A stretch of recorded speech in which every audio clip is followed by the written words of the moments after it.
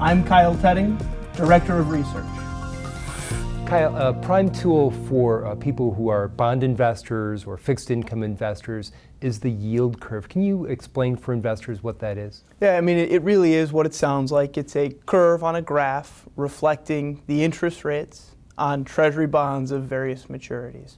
So everything from you know the overnight or the three-month T-bill all the way out to 30-year treasuries.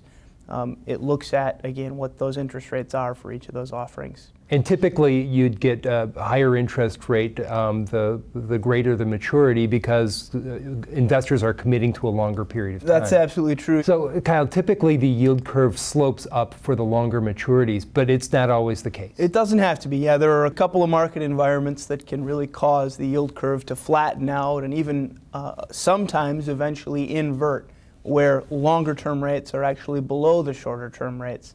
Uh, it's uh, very abnormal.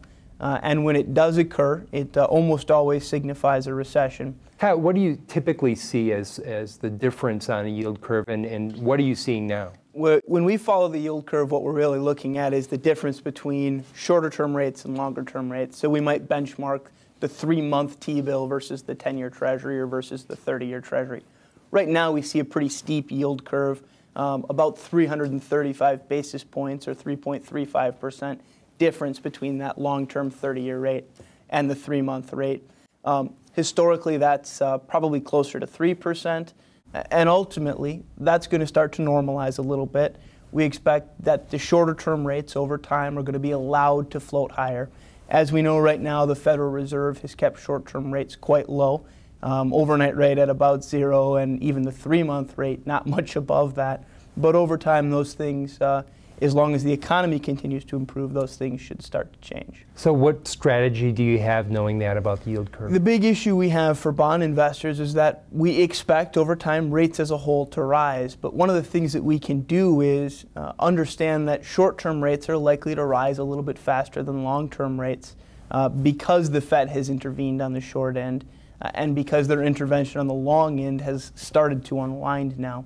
Uh, so, there is probably a point on the yield curve where you're going to see kind of like a teeter totter. Uh, one end starts to move higher while the other end comes down. Now, the overall rates are going to come up together, but what you'll see is that that short end probably is going to move up quicker than that long end because it's going to start to normalize a little more. So you want to find that pivot point in there just so that um, you're not moving as much. Absolutely, yeah. And, and, you know, we still expect that even at the pivot point, rates are going to move higher, but they're probably going to move higher at a rate that's much different than on the short and on the long end. And you keep your eye on the yield curve, but you're not expecting rates to go up very quickly. Yeah, we certainly don't expect uh, the Fed to do to make any major changes um, to overnight rates anytime soon. And we've seen the market respond a little bit to Fed tapering, uh, but of late that's slowed down.